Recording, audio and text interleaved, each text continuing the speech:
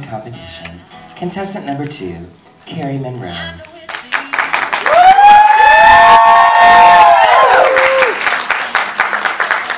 Carrie is wearing a black and crystal custom gown. yes. The mer mermaid style cut is embellished with over 2,000 beaded and sequin, sequin crystals throughout to enhance the sparkle.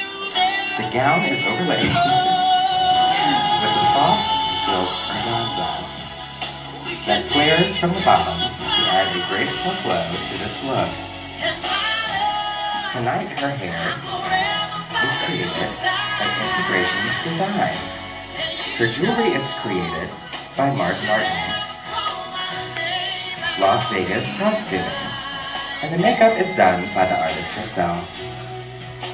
Tonight, Carrie is sponsored by Jay's of Fredericksburg, the Downtown Dollies, House of Star, and many family members and friends.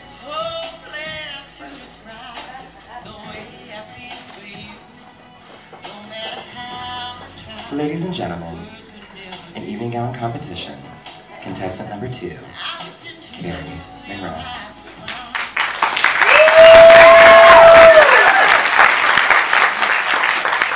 And now, we will have Carrie an onstage question. Carrie, first off, if you would like to take a moment and tell everyone a little bit about yourself. Good evening, ladies and gentlemen. How are you doing tonight?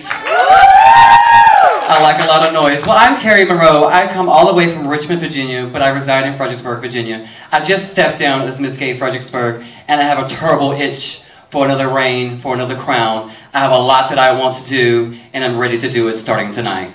Thank you. Okay. Thank you. So we have four questions left. I'm going to let you pick one of these questions, take a moment to read over it.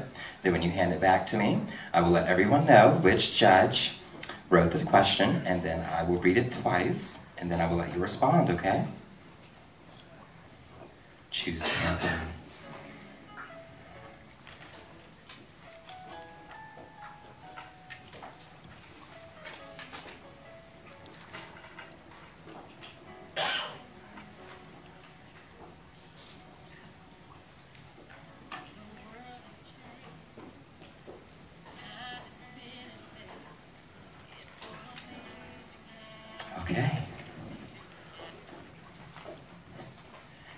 This question comes from judge number one, Jessica Jade.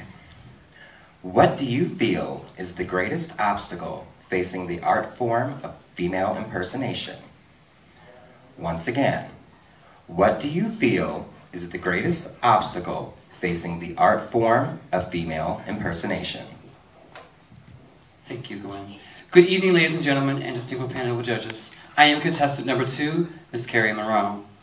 In response to the question, the greatest obstacle, I would have to say is believing in myself and being in myself.